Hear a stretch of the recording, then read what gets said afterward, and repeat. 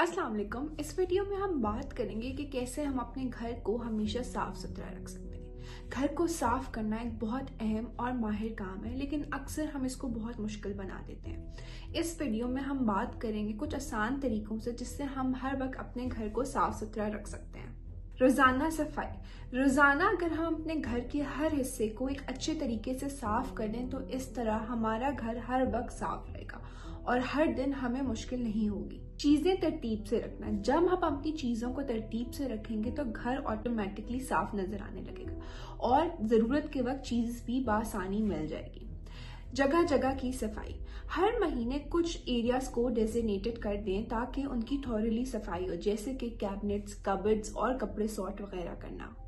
गंदगी को फ़ौरन साफ़ करना। कम गंदगी को साफ़ करना बहुत आसान है। बानस्बत की गंदगी बहुत ज़्यादा बढ़ जाए।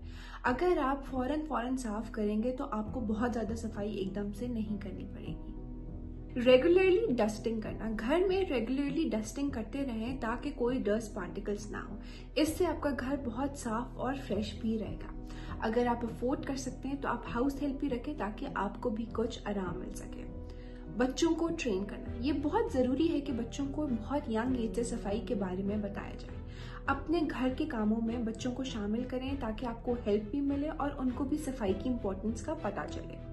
क्लटर को कम करें। कभी कभी बहुत सारा सामान भी आपके घर को मेसी बना देता है और गंदा दिखाता है। इसलिए बहुत ज़रूरी है कि जो चीज़ें आपके इस्तेमाल में नहीं है, उनको डोनेट कर दें या डिस्कार्ड कर दें। क्लीनिंग सप्लाईज का इस्तेमाल, सही क्लीनिंग सप्लाईज का इस्तेमाल करना बहुत ज़रूरी है। हर एरिया की सफ़ाई के लिए अलग क्लीनिंग सप्लाईज हो, इससे आपकी सफ़ाई बहुत बेहतर हो सकती है। अगर ये वीडियो आपको इन्फॉर्मेटिव लगी हो तो कमेंट शेयर और लाइक करें।